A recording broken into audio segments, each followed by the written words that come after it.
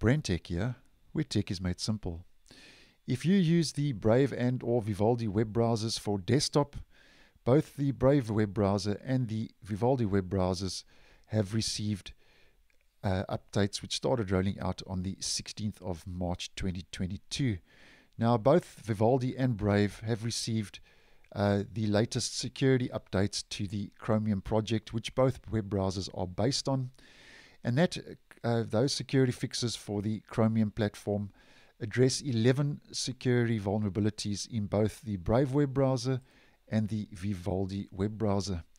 Now, out of those 11 security vulnerabilities, one of the vulnerabilities is a critical security flaw, and then there are eight high risk security flaws and vulnerabilities which have been patched in the latest uh, security update for the Chromium uh, platform, which both the Vivaldi and Brave web browsers are based on. Now, the main exploit that has been addressed is use after free. And in a nutshell, what use after free means is that the memory that is freed up when you close the Brave web browser or the Vivaldi web browser can be accessed remotely by, by a hacker or an attacker to gain access uh, through your browser onto your system. So it's important to check that you have the latest updates for both the Brave and the Vivaldi web browsers for desktop if you use any of those browsers. Now, in the Brave web browser, over and above those important 11 security fixes, uh, there are one or two other little uh, changes that have been added or removed in this latest update. And the first is the Tor uh, private window, the private browsing window now has the Brave search as the default search search engine in the private uh, Tor browsing window. And then they've also removed the Brave rewards card from the Brave welcome page in the browser. And then there's also a flag that has been disabled.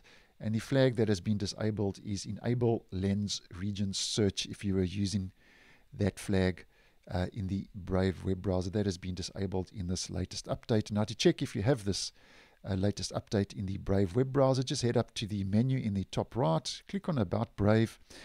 And if it hasn't updated already in the background, this will update you to the latest version and build, which is 1.36.116. It's the 0.116 uh, in the Brave web browser that has those different little changes. And then the Chromium uh, version is 99.0.4844.74 now, and that's exactly the same as Google Chrome now, which it's the 0.74, the point release on the end, the 0.74 that contains those 11 important security fixes to the Chromium engine. And you can always just click on the, the version, which will take you to the Brave release notes, which I've mentioned in this video.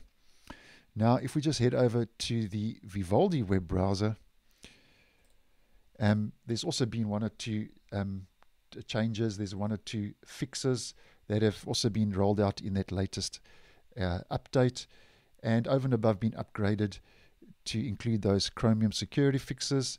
Um, if you, you are using the Vivaldi web browser on, on Mac OS, apparently some PWAs were not working. That bug has been addressed. And then also um, cancelling leave site dialog breaks in the tab bar. That's to do with the tabs. That is also a bug fix that has been addressed in this latest update. And in Vivaldi, if you'd like to see if you have the latest uh, version, just head to the menu, help, check for updates. And if it hasn't done so already, this will update you to the latest version. And if we just go back to help, and this time we click on about, yeah, we can see Vivaldi now is sitting at 5.1.26567.66. Uh, it's the 0.66 that contains those two bug fixes mentioned. And then, yeah, it's now at Chrome 98.0.4758.136. And although Vivaldi is still using the Chromium platform version 98, it's the 0.136 though that contains those important security updates uh, to the Chromium engine, which the browser is based on.